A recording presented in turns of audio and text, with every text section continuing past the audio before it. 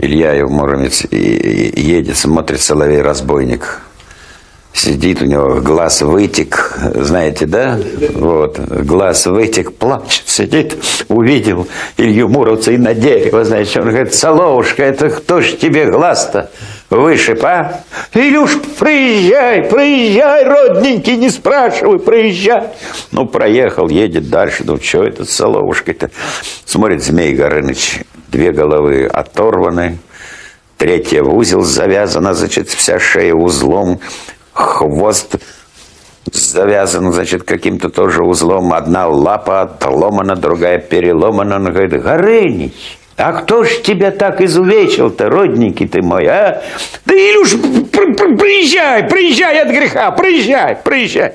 Ну, едет озадаченный Илья Муромец, а Соловушка подползает к Горынычу и говорит, Горыныч, ну ты посмотри, а? Вслед Илья Муромцу смотрит. Ведь тверезый, ну человек человеком и поговорить может, и по соболезнам.